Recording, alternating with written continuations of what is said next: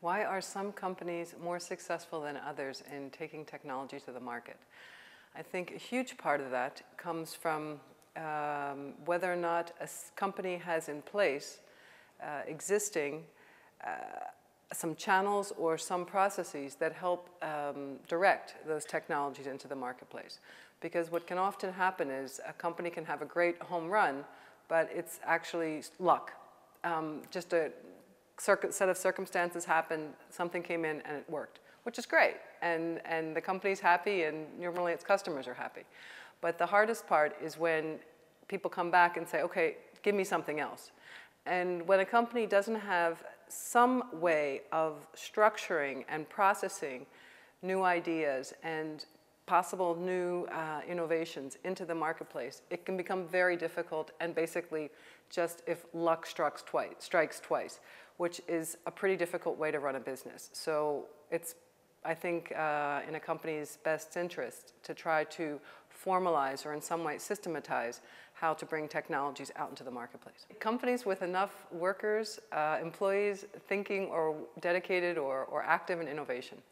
I think really what has to happen is that innovation is not someone's particular job, but that actually the way of thinking in terms of uh, what else can we do and not just repeating the way business has always been done, that should actually permeate throughout the entire organization and not be limited to, say, the C-suite or just the R&D group or just the marketing team or whomever. I think what really needs to happen for innovation to be able to, to have as much impact as possible for any organization, be it a for-profit company or uh,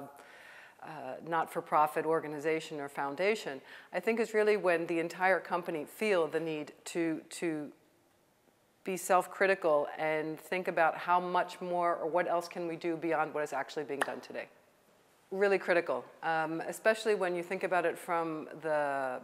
the, the technology-only point of view. Uh, I think people who think that you can get it done just with great technology and forget about the business model are making, or at least putting at risk, uh, a huge part of what they, what they anticipate as their success. Um, because a great technology without an accompanying business model probably will fall flat. And if it doesn't, it's probably luck.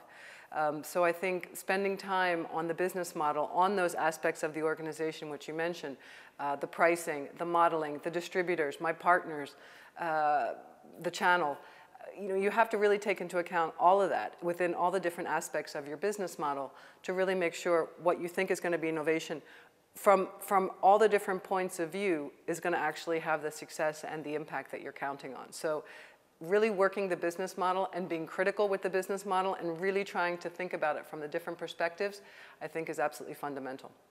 I think the, the MBI from Deusto is a really interesting idea um, and fits uh, an important niche inside the marketplace because it's not a standard MBA, for example, with a pretty much set uh, structure of criteria or curriculum. I think the MBI